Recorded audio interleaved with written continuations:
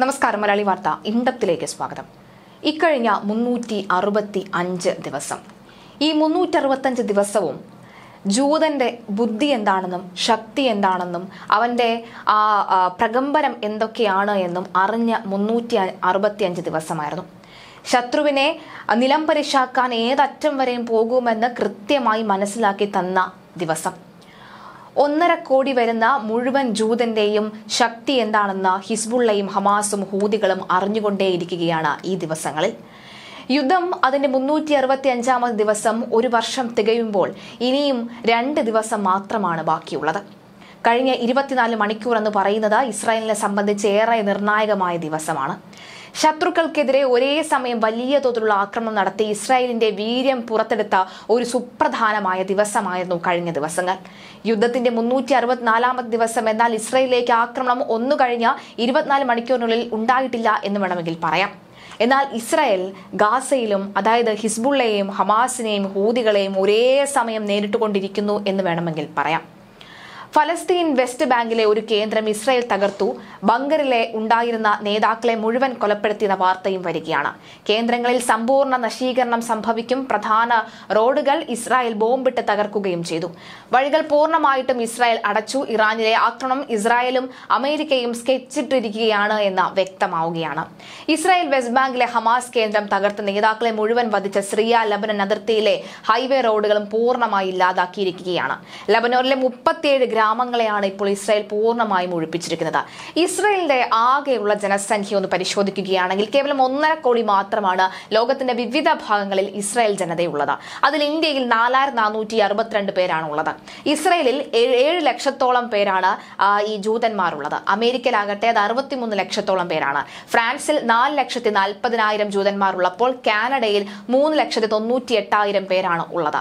U കെയിൽ മൂന്ന് ലക്ഷത്തി പന്ത്രണ്ടായിരം ജൂതന്മാരാണ് ഉള്ളത് അർജന്റീനയിൽ ഒരു ലക്ഷത്തി എഴുപത്തി ഒന്നായിരം ജൂതന്മാരും റഷ്യയിൽ ഒരു ലക്ഷത്തി മുപ്പത്തിരണ്ടായിരം ജൂതന്മാരും അത് ജർമ്മനിലേക്ക് വരുമ്പോൾ ഒരു ലക്ഷത്തി ഇരുപത്തി അയ്യായിരം ജൂതന്മാരും ഓസ്ട്രേലിയയിൽ ഒരു ലക്ഷത്തി പതിനേഴായിരത്തി ഇരുന്നൂറ് ജൂതന്മാരുമാണ് ഉള്ളത്.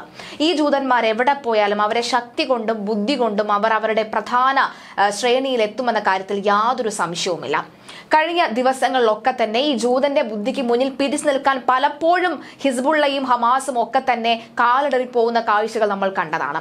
ഗാസയിൽ ഇസ്രായേൽ നടത്തുന്ന ആക്രമണം ഒരു വർഷം പൂർത്തിയാകുമ്പോൾ ഇതിനോടകം തന്നെ നാൽപ്പത്തി ഒന്നായിരത്തി നാനൂറ്റി തൊണ്ണൂറ്റി അഞ്ച് മനുഷ്യരാണ് മരിച്ചു വീണത്.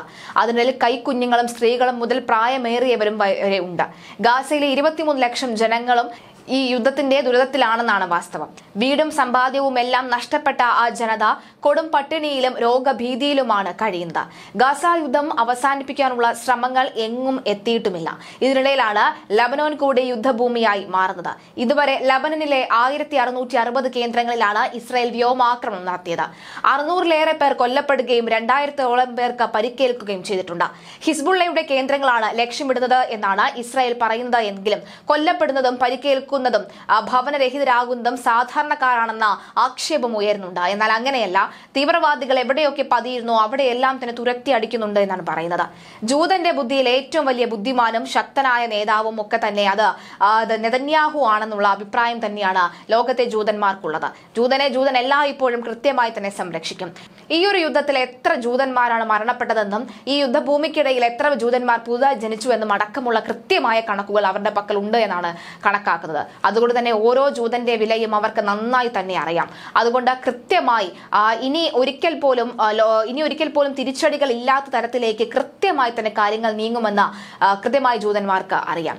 തുടർന്നുകൊണ്ടിരിക്കുന്ന ഗസ യുദ്ധം അവസാനിപ്പിക്കണമെന്നും ലോകം ഒന്നടങ്കം ആവശ്യപ്പെടുമ്പോൾ പുതിയൊരു യുദ്ധമുഖം കൂടി തുറക്കുകയാണ് ഇസ്രയേലിന്റെ നീക്കം നീക്കമെന്ന് പറയുന്നു. യുദ്ധമുഖം ഇപ്പോൾ തന്നെ തുറന്നു കഴിഞ്ഞിരിക്കും തന്നെയാണ് സാരം. കാരണം വെറുതെ ഇരുന്ന ഇസ്രയേലിലേക്കാണ് ഇറാൻ നൂറ്റി എൺപത്തി ഒന്നോളം വരുന്ന മിസൈലുകൾ ആ, ഇത് പറത്തിവിട്ടത്. അതിനൊക്കെ തന്നെ കൃത്യമായ മറുപടി നൽകിയില്ലെങ്കിൽ പിന്നെ ഇസ്രായേൽ എന്നും ജൂതൻ എന്നും ഒക്കെ പറഞ്ഞ് നിൽക്കുന്നത് എന്തിന്റെ ആവശ്യത്തിനാണെന്ന ചോദ്യവും ഉയരുകയാണ്. ഗസ ആക്രമണം തുടങ്ങിയതോടുകൂടി രാജ്യത്തിന്റെ വടക്കൻ മേഖലയുടെ സുരക്ഷ അവഗണിക്കുന്നു എന്ന വിമർശനവും ഇസ്രായേൽ പ്രധാനമന്ത്രി ബെഞ്ചമിൻ നെതന്യാഹു കേട്ടിരുന്നു. എന്നാൽ കഴിഞ്ഞ ദിവസങ്ങളിലൊക്കെ തന്നെ പ്രധാനമന്ത്രി ബെഞ്ചമിൻ നെതന്യാഹു എന്ന രാഷ്ട്രീയ നേതാവിന് ഇസ്രായേലിനകത്ത് തന്നെ വലിയ നേട്ടം കൊയ്യാൻ സാധിച്ചു എന്നതിൽ യാതൊരു സംശയവുമില്ല. എന്തായാലും രാഷ്ട്രീയ തിരിച്ചടികളൊക്കെ തന്നെ വരും ദിവസങ്ങളിൽ ഉണ്ടാകാനുള്ള സാധ്യതയുണ്ട്. പക്ഷേ അപ്പോഴും ഇസ്രായേൽ ജനതയ്ക്ക് നൽകിയ വാക്ക് അത് എത്രയും പെട്ടെന്ന് പാലിക്കപ്പെടുന്നുണ്ട്. ഈ ഒരു വർഷം തികയുമ്പോൾ അടുത്ത ദിവസങ്ങളിലൊക്കെ തന്നെ ബന്ദികൾ പുറത്തു വരാനുള്ള സാധ്യതയും കൂടുന്നു എന്നാണ് വ്യക്തമാകുന്നത്. എന്തായാലും മറുവശത്ത് ഗാസയിൽ യുദ്ധം ഒരു വർഷം ആകുമ്പോഴേക്കും നെതന്യാഹു അവകാശപ്പെടുന്ന പോലെ തന്നെ ഹമാസിനെ പൂർണമായി ഇല്ലാതെയാക്കാൻ നെതന്യാഹുവിന് കഴിഞ്ഞിട്ടുണ്ട്. ഇസ്രായേൽ വലിയ രീതിയിലുള്ള വ്യവസ്ഥകളോടുകൂടി തന്നെ സന്ധി സംഭാഷണങ്ങളും ഒന്നും തന്നെ നടന്നിട്ടില്ലെങ്കിലും കൃത്യമായ യുദ്ധങ്ങൾ മുന്നോട്ട് കൊണ്ടുപോകാൻ നെതന്യാഹുവിന് സാധിച്ചിട്ടുണ്ട് എന്നാണ് മനസ്സിലാകുന്നത്. ഹമാസിനും ശക്തിയും പിന്തുണയും നൽകുന്ന ഹിസ്ബുള്ളയെ ദുർബലപ്പെടുത്തിയാൽ ഗാസയിലെ കാര്യങ്ങൾ തങ്ങൾ ആഗ്രഹിക്കും വിധം നടപ്പാക്കാൻ കഴിയുമെന്ന് ഇസ്രായേൽ നന്നായി തന്നെ അറിയാം. അങ്ങനെ ഇസ്രായേൽ ആഗ്രഹിക്കുന്ന വിധമുള്ള ഉപാധികളിലേക്ക് ഹമാസിനെ കൊണ്ടുവരാനുള്ള നീക്കമാണ് ലബനൻ ആക്രമണം വിലയിരുത്തപ്പെടുന്നത്. യുദ്ധത്തിലേക്ക് ഇറാൻ കൂടി ഉൾപ്പെടുന്ന സാഹചര്യത്തിൽ ഇതിനോടകം തന്നെ ഉടലെടുത്തു കഴിഞ്ഞിരിക്കുകയാണ്. ഹമാസിനും ഹിസ്ബുള്ളയ്ക്കും യമനിലെ ഹൂതികൾക്കുമെല്ലാം പിന്നിൽ ഇറാൻ ആണെന്നും അതിനാൽ തന്നെ ഇറാനിലേക്ക് കൂടി യുദ്ധം വ്യാപിപ്പിക്കാൻ ഇസ്രയേൽ ആഗ്രഹിക്കുന്നുണ്ട് എന്നും കരുതുന്നവർ ഏറെയാണ്.